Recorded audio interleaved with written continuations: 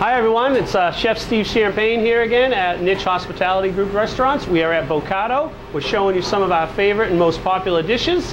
Uh, one of them is the scallops wrapped in bacon. Um, this is something you probably had at home. We put a, certainly our own Spanish gourmet twist on it. Uh, we wrap them in bacon. We put a little bit of crushed red pepper in there to give it a little bite.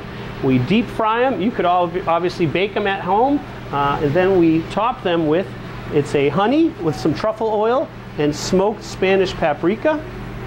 This gives them a little sweetness, a little bite, and that truffle oil really comes through. And then we just top them with a little fresh green onion or scallion. And that is our scallops and bacon here at Bocado.